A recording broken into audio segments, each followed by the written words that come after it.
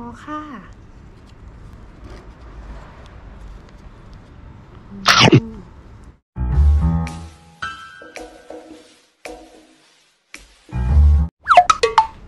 สวัสดีค่ะ สวัสดีแฟนๆ รายการออมสินพาแซบนะคะ วันนี้พบกับแม่ค่ะ นานๆ เราจะได้เจอกันทีนะคะ วันนี้มี วันนี้ไม่ได้ทำนะคะ อันนี้ซื้อมา เป็นเมี่ยง เป็นเมี่ยงของใบชะพูเนี่ย ชิมกันค่ะ ร้านนี้ร้านประจำค่ะ อร่อยมาก นี่ใบชะพูชอบกินสองใบซ้อนกันนะคะนี่นี่ค่ะ ห่อเลยค่ะ ห่อเลย ขออนุญาตใช้มือนะคะ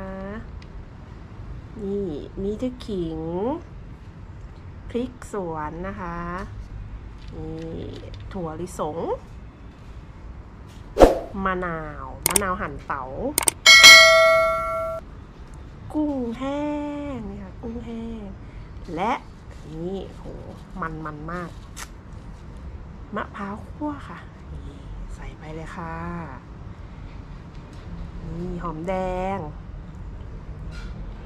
หอมแดง นี่ และที่อร่อยมาก อร่อยแม่อร่อยนี่ อยู่ตรงนี้เลยค่ะ น้ำจิ้มค่ะ น้ำจิ้มหวานนี่โอ้เจ้านี้ เจ้านี้กินประจำค่ะ อร่อยมากนี่ไก่หอค่ะอืมอืม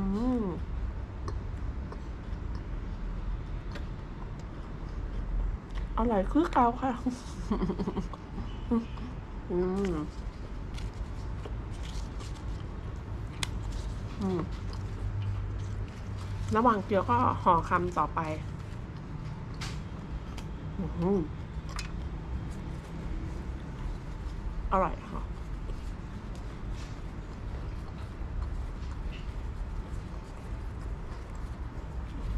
อืม นี่เป็นใบชะพูนะคะ ถ้าเป็นเมื่อก่อนตอนเด็กๆเนาะเราชอบกินกับเมี่ยงคำที่เป็นใบทองหลาง แต่ว่าสมัยนี้คือ แถวปากน้ำนี่หายากแล้วค่ะ แต่จังหวัดอื่นนี่คือไม่แน่ใจนะคะ ใบทองหลางก็อร่อย ใบอ่อนๆ อร่อยอยู่เหมือนกัน อันนั้นคือแบบต้นฉบับเลยนะ อืม อ้าว กินพริกเข้าไป เผ็ดได้ที่เลยค่ะ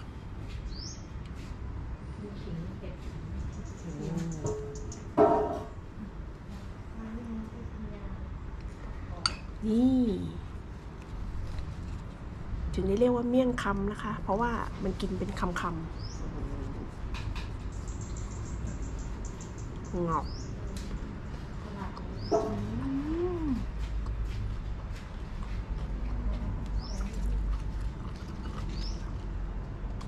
อืม อืมือของที่อร่อยและมีประโยชน์มากเลยค่ะอืม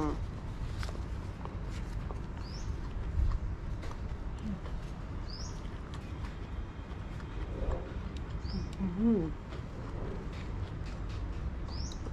อืม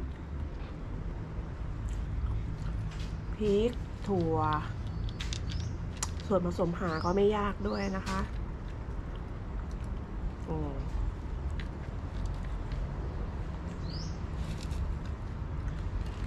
นี่ น้ำจิ้มอร่อยมากเลย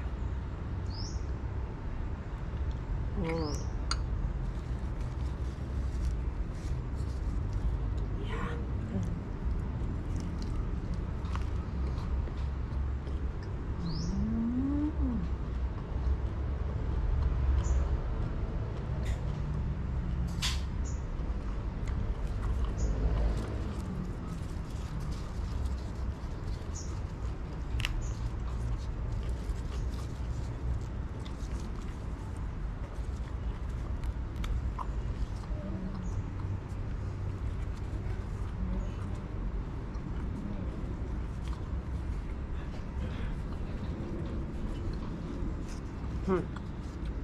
มาค่ะ มาค่ะอีกคำหนึ่ง ก็เอาอิ่มอยู่เหมือนกันนะคะ เนี่ยเหมาะกับการเป็นกินเล่น เป็นของว่างทานเล่นได้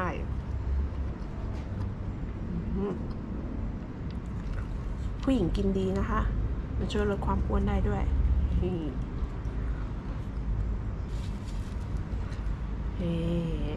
เอาค่ะว้ายน้ำ จิ้มเห็นไหมน้ำจิ้มน้ำจิ้มอร่อยมาก น้ำจิ้มอร่อยมากค่ะ